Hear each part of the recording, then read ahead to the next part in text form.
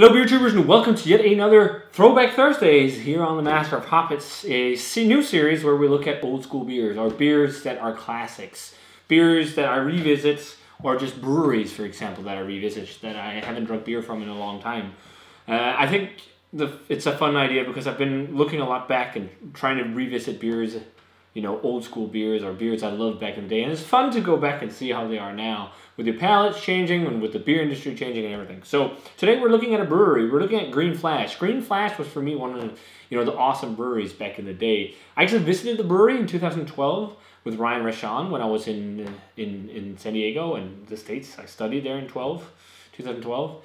Uh, so we went there and it, you know it, they made some great stuff. Silva Stout I remember being really good, and was, they also did a barley wine. I just can't remember something with Shaggy. Sleeping with Shaggy, or was that a Flemish sour? I can't remember, but Chuck Silva brewed there back then as a brewmaster. I remember he was uh, uh, one of the brewmasters that was really ch- talked about back in the day. It's also Silva Stout was named after him, which was one of the first stouts I remember trading for. Uh, but there's been a lot of things happening with uh, with the Green Flash. Uh, you know, a lot of people talked about decline of quality. They took over the production of Alpine. There was a lot of fuzz about that, with people not really liking the stuff coming out Alpine branded from Green Flash and whatnot. And I actually have cans of Alpine to check out as well. All these beers actually got from Beer Dome, the, the Dutch website that's been sponsoring me for quite a long time now. They got a fun selection of just like West Coast stuff, and I was like, shit, that's awesome. So we got loads of West Coast IPAs and whatnot to revisit and new ones to check out. But yeah, so um, that's also coming in the pipeline. Some some um, yeah, Alpine, but it's the Green Flash Alpine, not brewed at the original facility in Mammoth, which I actually also visited. It was tiny. I don't know if they still produce anything from there, but that was upper echelon IPA. It was fruity, really powerfully juice. It was kind of juicy IPA before the whole West Coast or New England thing happened. Then you got like a mishmash of that and and something slightly hazy with like Heady Topper, and then you know it's just skyrocketed. So it's going to be really fun to revisit. I mean, one of the beers is West Coast IPA, which I actually had featured on Green Flash's website back in the day. They asked me if I wanted it featured on the website because they'd like to use it for the page about the beer. So there's like about page of Green Flash West Coast IPA, and then in the corner it was the Master of Hoppets beer review of it, where we really enjoyed it, Jakob and I, which was fucking. I thought that was so fucking cool. You know, back in the day, I was like, "What shit? Of course you can." so, yeah, it's one of those breweries back in the day that I thought was really awesome, like Ballast Point as well. Some of the like the classic San Diego stuff, which is really cool. So it's gonna be fun to revisit. I haven't had Green Flash in years. I can't remember the last time I had a Green Flash beer, specifically an IPA. All these are IPAs. That's what they had. Uh, on Beer Dome. So I think we're going to start off with this one, which I think is a newer addition to their lineup. I don't remember hearing about this. I remember they did like, I remember Palate Wrecker. Do you guys remember that one? Like the crazy bitter IPA they did? And Rayon Vert, the uh, the Brettanomyces one, and they did like, I call it was Sanfuilian, and that was also just their Imperial IPA. Was great back in the day. So this is, uh, yeah, this is Soul Style. This is a 6.5% IPA. They do not say whether it's West Coast or not. They just say American IPA but I'm guessing it's West Coast. I mean, it's from San Diego, and it's clear. And I have a little bit of info here on it in terms of hops. It's hopped with Citra, Simcoe, and Cascade. So some OG hops in this one. So let's start off with that. I mean, it looks very nice. It looks clear, lightly orange. It's got a white head. It looks like what I expect from the style. And also, one thing to note, these cans are a little more than two months old. So they're not that fresh. But it's really hard to get stuff like this, like really, really fresh in Europe. So I think this was about the age we would get West Coast IPA the freshest when we got it here. And I remember back in the day being pissed at European brewers trying to imitate this style and not nailing it, where you compared like uh, West Coast IPA from Green Flash to a European West Coast IPA, and the two month old West Coast IPA from the state tasted better. oh man. But yeah, let's check out Soul Style first here. So it looks nice aroma. Yeah, I mean, it smells very West Coast. It's very citric and lemony. It's really sweet citrus forward. Not as much grapefruit as I imagined. They say like bright citrus, 100%, and floral hops for sure. It, yeah, th- this is the only one there isn't a canned-on date on, but I'm guessing they're the same age, all of them. But smells really nice. There's a little bit of sweet malt in the back there. Man, I'm fucking I missed West Coast IPA so much. It smells so nice. It almost slightly Midwest like because it has like a little bit of a sweeter, juicier profile, but it also has what you really often associate with the West Coast IPAs this oily citrus. Like this really oily, orangey, like almost like marmalade citrus thing. It smells really good actually. Let's try, guys. Cheers and thanks to Beer Dome for the beers.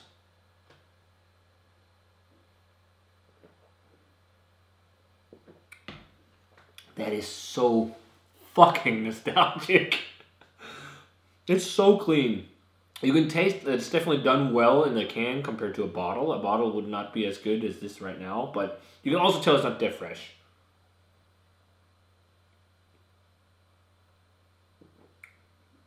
Just tastes like a not as bitter West Coast IPA. I remember, I mean, it definitely got a kick of bitterness. Don't be wrong.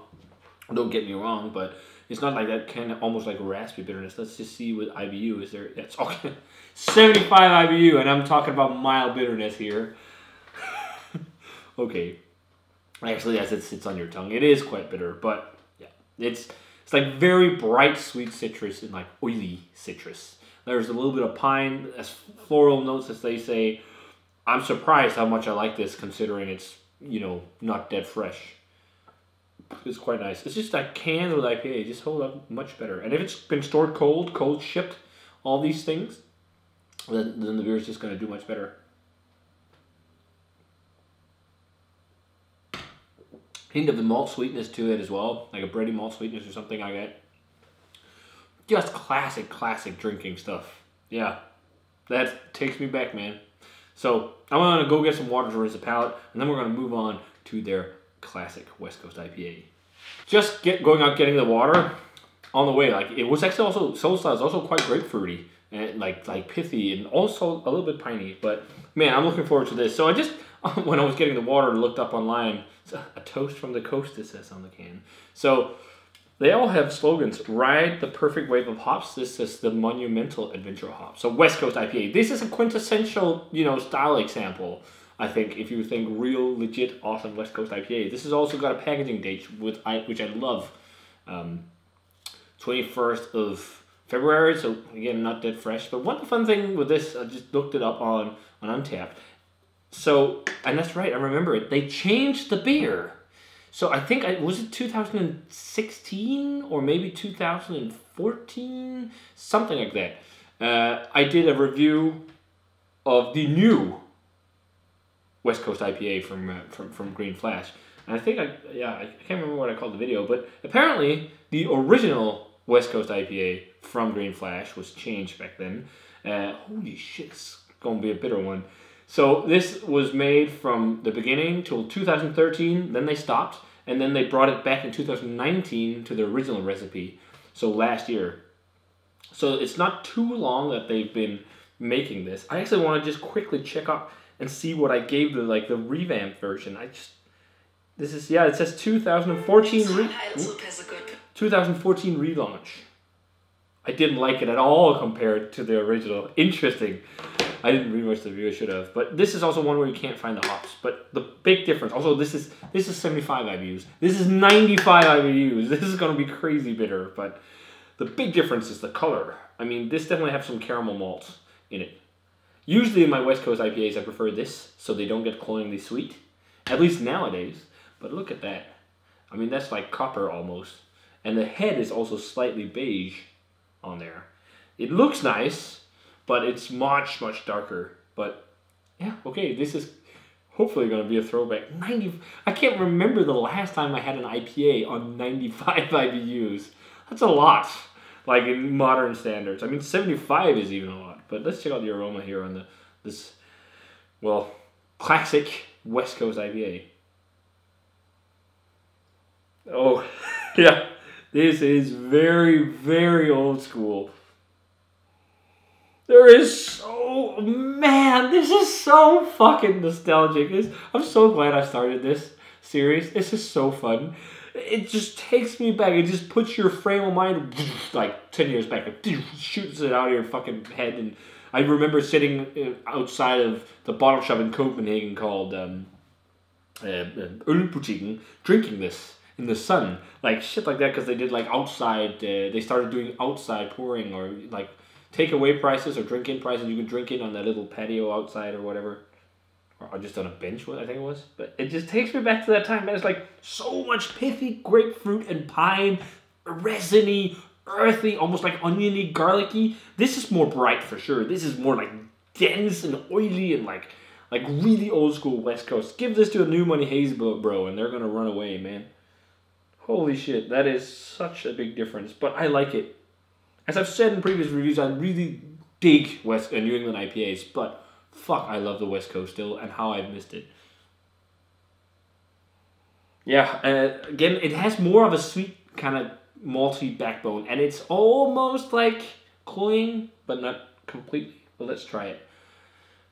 Green Flash West Coast IPA for the first time in probably six, seven years. No, six years. No, it's more than that because they changed the recipe. So probably eight or nine years, eight years. Fucking crazy. Cheers, guys.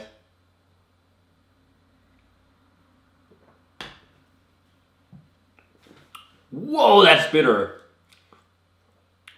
Oh, I can't remember having a, a, an IPA this bitter. Like, I don't know how long, man. Holy shit. It is so crazily bitter. I like it though, but wow. 95 IBU is quite bitter beer. It's like it's like this really like aftertaste right now. It's like really bitter, piney, resiny uh, hop flavor. Like man, this is as old school West Coast as it gets.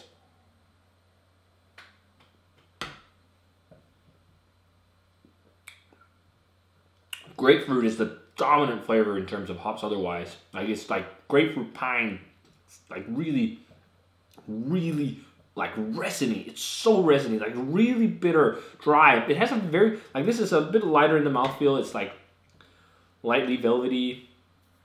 This or not velvety, just like and like a little bit spritzy. This is like light lighter as well, but more velvety, slightly slightly oily actually, like hop oil. Wow, it's a bitter beer. Holy crap. Like, that's crazy. it's so fun. Slightly earthy as well. Floral too, actually. What did they say themselves? Pine, floral, ripe fruits, yeah. I'll say it's more grapefruit. This is like more sweet citrus. Like so much like pink grapefruit and like grapefruit pith and rind and peel. That was fun. That was fun. I will say, I think I actually prefer Soul Style a bit more, just because it has more fruitiness. So what I loved with the West Coast IPA, like this is how it originally was, and then it morphed into the more fruity stuff with the mergers of like Alpine and, and Beachwood and all this stuff. So this is maybe to more more towards what I'd call a Beachwood IPA, West Coast IPA, where it's like more like fruit focused. Yeah, much more bright and singing like really sweet citrusy, like also what like Stone started to change it up. Like when they started, like did the tenth anniversary ruination, Ruin Ten. That was also like really fruity and like not just like bitter, earthy, grapefruity. So it's yeah, it's this seems to more like like this is I should maybe I started with it. No, I don't know, whatever. But it just seems like like classic West Coast IPA, the evolution to a more modernized West Coast IPA, and then we have the final one, which is haze. So I don't know when they released this either, but this is Tropical DNA, and this is a hazy IPA from from uh, from Green Flash. It's the same date as the the West Coast IPA. It says Transport to Paradise in each sip. Hazy IPA with tropical fruit and citrus and whatever. I love the artwork on these cans too, but yeah. That bitterness sits for a while. So let's just check quickly and see if um, if Tropical DNA has any reference as to what hops they put in. And I could probably find it out on the web shop uh, website, but I didn't. So uh, here we go. It's fermented with Brux yeast. I haven't heard of that. That's probably for haze, something like that. Citra Mosaic Simcoe and lupulin powder. So Citra Mosaic Simcoe is a very classic combo. I mean, this is what you expect when you hear hazy IPA. It's hazy, golden yellow. It's got a white head. I wonder if they have West Coast bitterness on this one. No, holy shit, what a difference. I should have started with this then. 18 IBU, 75 95. Let's check it out. Yeah, okay, it's not as, you know, explosive on the aroma as a lot of the really hype hazy IPAs. It's like, um, to me, it's like very citric and lemony. Maybe some pineapples and bright citrus fruits. It smells, yeah, it smells like very restrained actually, especially compared to the others, which is interesting. Yeah, okay, but it's also just like the bold bitterness and everything, guys. Let's just try it. Cheers. This is going to be slightly long video, but that's how it is with all this nostalgic banter, guys. Cheers.